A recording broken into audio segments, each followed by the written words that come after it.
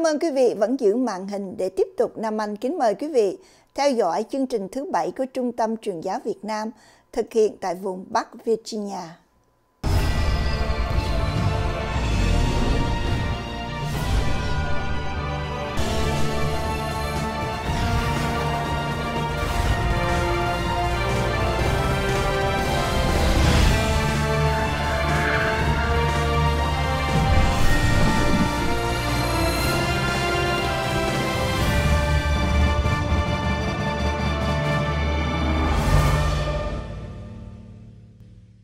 Kính thưa quý khán thính giả, tôi là Nguyên Lê.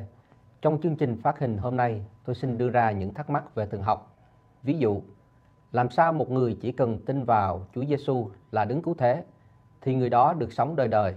Làm thế nào Ngài có thể bôi xóa tất cả tội lỗi của tôi? Làm thế nào khi tôi chết, tôi được về sống trên thiên đàng?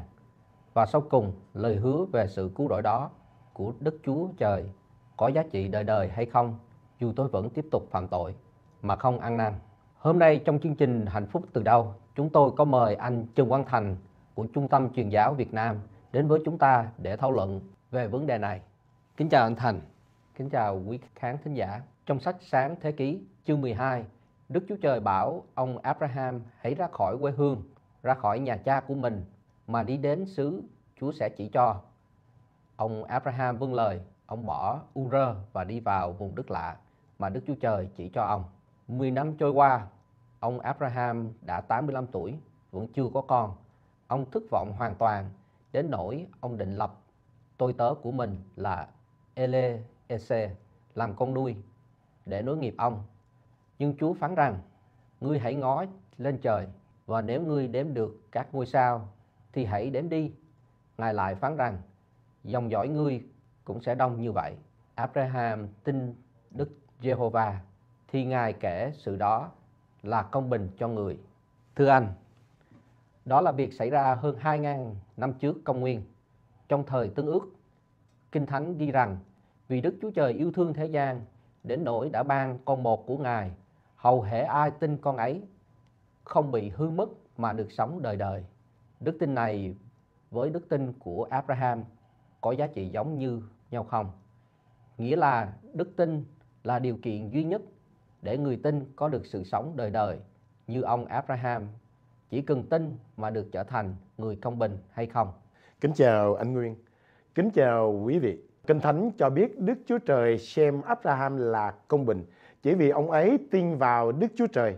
Abraham không làm gì cả. Abraham không xứng đáng làm người công bình.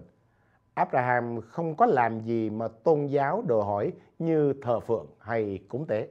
Abraham chỉ tin vào lời hứa của Đức Chúa Trời là sẽ ban cho ông có con. Trong Kinh Thánh Sáng Thế Ký chương 15 câu 6 giúp chúng ta hiểu rõ rằng chính xác về ý nghĩa của sự vận hành của chương trình cứu chuộc mà Đức Chúa Trời dành cho loài người. Tại sao tôi nói như vậy?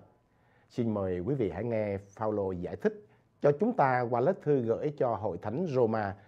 Thật thế, nếu Abraham đã được xưng công bình bởi việc làm thì ông có cớ khoe mình, nhưng trước mặt Đức Chúa Trời không có như vậy, vì Kinh Thánh có dạy chi? Abraham tin Đức Chúa Trời và điều đó kể là công bình cho người. Chữ quan trọng trong câu kinh văn này là được kể là trong tiếng Anh bản NIV được dịch là credit, trong bản King James thì được dịch là counted. Trong tiếng Hy Lạp, chữ này là logizomai. Chữ này được dùng trong giới tài chính, ngân hàng hay trong kế toán. Nó có nghĩa là ký thác hay deposit tiền vào tài khoản ngân hàng của một người nào đó. Thật là buồn, tôi và quý vị không có cái gì để gửi vào ngân hàng tâm linh của mình trên thiên đàng. Vì tội lỗi của chúng ta, cơn giận của Đức Chúa Trời tách rời chúng ta với Ngài và mọi người sẽ sống đời đời trong quả ngục. Nhưng tin tức tốt lành đến khi Đức Chúa Giêsu xuống thế gian, Đức Chúa Trời ban cho loài người, cho tôi và cho chúng ta một lời hứa về sự cứu rỗi. Lời Chúa phán như sau: Vì ai kêu cầu danh Chúa thì sẽ được cứu. Chúng ta hãy nghe lời Chúa Giêsu đã hứa: Ai tin con thì được sự sống đời đời, ai không chịu tin con thì chẳng thấy sự sống đâu, nhưng cơn thành nộ của Đức Chúa Trời vẫn ở trên người đó. Chúng ta lại nghe một lời hứa nữa được ghi trong công vụ chương 16 câu 31. Hãy tin Đức Chúa Giêsu thì ngươi và cả nhà ngươi sẽ được cứu rỗi.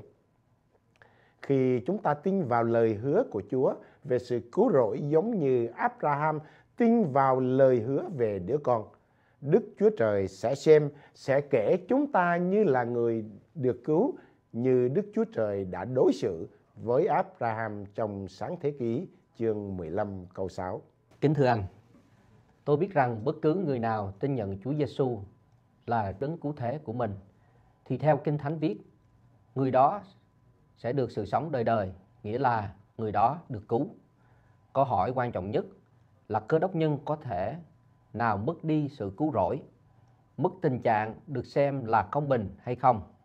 Nghĩa là sự sống trên thiên đàng mà Chúa hứa có được bảo đảm đời đời hay không?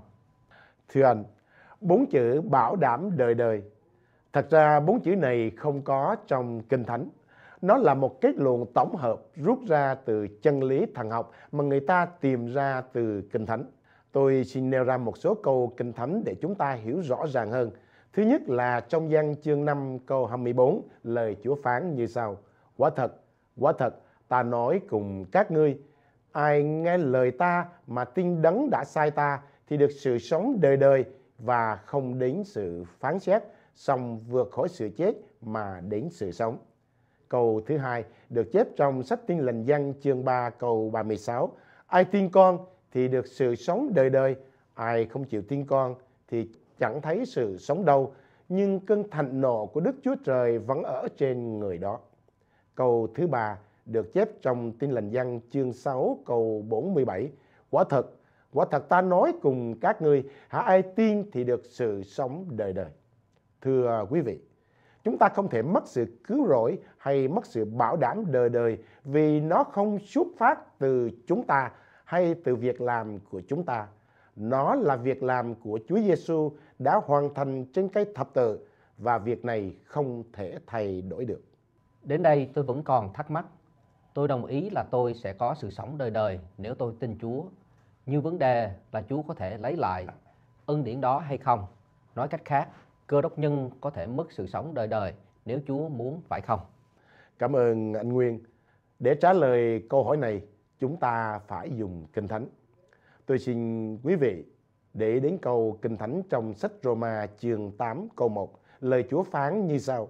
Cho nên hiện nay chẳng còn có sự đoán phạt nào cho những kẻ ở trong Đức Chúa Giêsu Christ. Câu Kinh Thánh này cho biết không có sự đoán phạt, không có sự phán xét của Đức Chúa Trời về tội lỗi của chúng ta khi chúng ta ở trong Đức Chúa Giêsu Christ.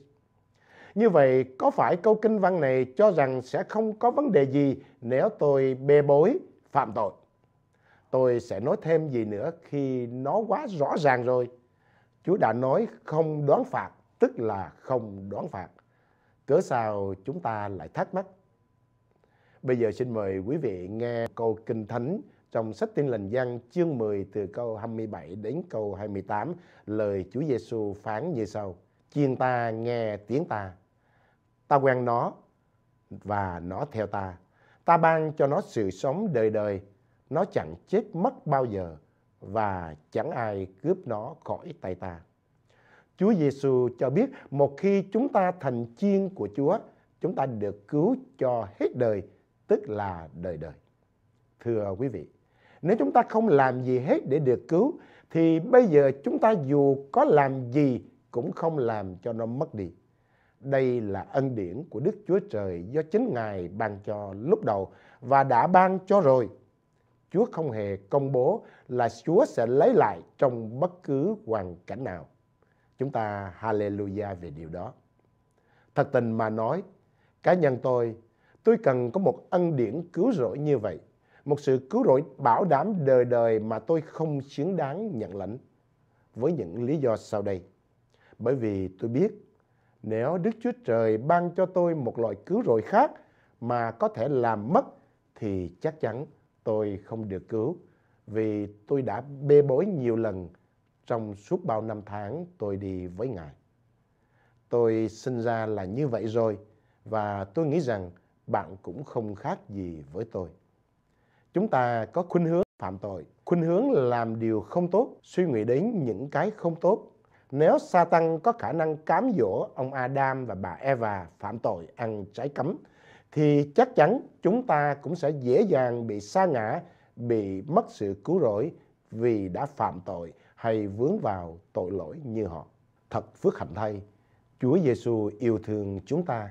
Ngài hiểu chúng ta quá rõ ràng để ban cho chúng ta một con đường, một phương cách, một chương trình về thiên đàng mà chúng ta không thể làm xáo trộn hay tự hủy hoại mình. Cảm tạ Chúa, ngợi khen Ngài.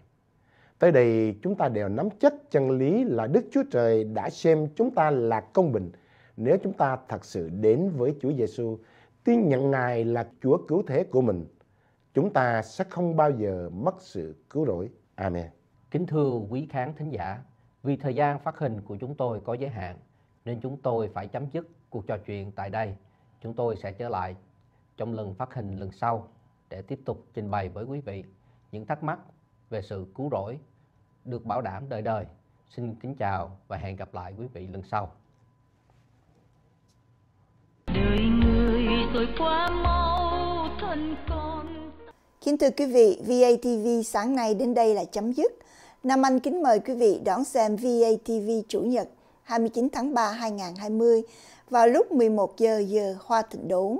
Mọi liên lạc hay đóng góp ý kiến cho VATV xin email về vatvnews@gmail.com. Nam Anh kính chào và hẹn gặp lại quý vị vào kỳ tới. Kính chúc quý vị có một cuối tuần an vui và hạnh phúc bên người thân và gia đình.